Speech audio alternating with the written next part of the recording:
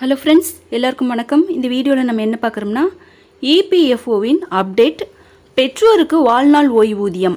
வாங்க டீட்டெயில்ஸாக பார்க்கலாம். ஊழியர்களின் வருங்கால வைப்பு நிதி அமைப்பு ஊழியர்களுக்கு பல வசதிகளை வழங்குகிறது. உறுப்பினர்களுக்கும் அவர்களது குடும்ப உறுப்பினர்களுக்கும் பல நன்மைகளை வழங்குகிறது. வாடிக்கையாளரின் பெற்றோருக்கும் ஓய்வூதியம் வழங்கப்படும். ஆனால் வெகு சிலரே இதை அறிவார்கள். ஆனால் இது சில சந்தர்ப்பங்களில் மட்டுமே பொருந்தும். இபிஎஃப்ஓ கணக்கு வைத்திருப்பவர்களுக்கு மட்டுமல்ல அவர்களை சார்ந்தவர்களுக்கும் ஓய்வூதியம் வழங்குகிறது.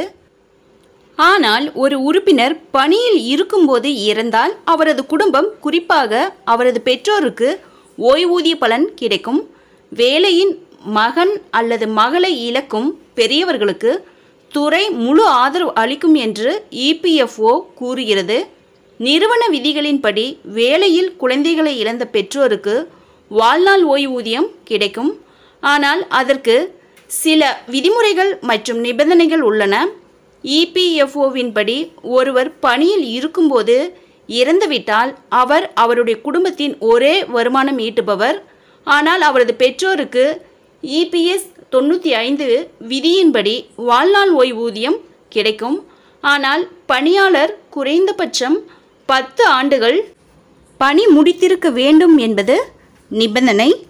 மேலும் பணியின் போது ஏதேனும் நோயால் உறுப்பினர் உடல் ஊனமுற்றால் அந்த ஊழியருக்கும் வாழ்நாள் முழுவதும் ஓய்வூதியம் தொடர்ந்து கிடைக்கும். பத்து வருட சேவை முடியாவிட்டாலும் கிடைக்கும். ஃப்ரெண்ட்ஸ் இந்த வீடியோ உங்களுக்கு யூஸ்ஃபுல்லாக இருந்தால் என்னோட சேனலை சப்ஸ்கிரைப் பண்ணுங்கள் லைக் பண்ணுங்கள் மற்ற நண்பர்களுக்கும் இந்த வீடியோவை ஷேர் பண்ணுங்கள் தேங்க்ஸ் ஃபார் வாட்சிங்